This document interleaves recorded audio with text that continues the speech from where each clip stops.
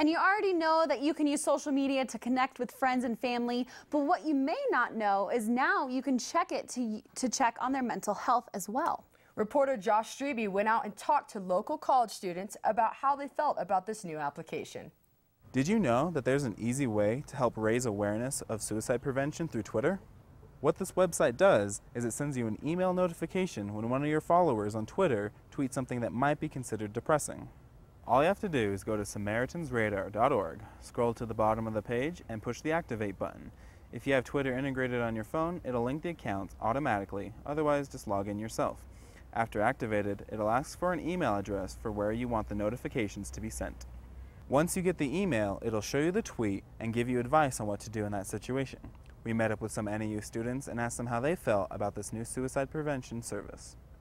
I think it's going to be the Twitter app. I think it'll be a great idea. It'll really help students out that are in need, like if they're having serious like issues with depression or like suicidal thoughts. I feel like that would be really useful to be able to have that heads up whether the person might know what to do or not, how to handle that kind of situation. We spend so much time on social media, and um, so much of our self esteem comes from social media as well, and uh, how we're seen. I hope the Twitter app can help things, but you just never know what where people's mindsets are mm-hmm. when they're going through things like this. For NAZ Today, I'm Josh Strebe.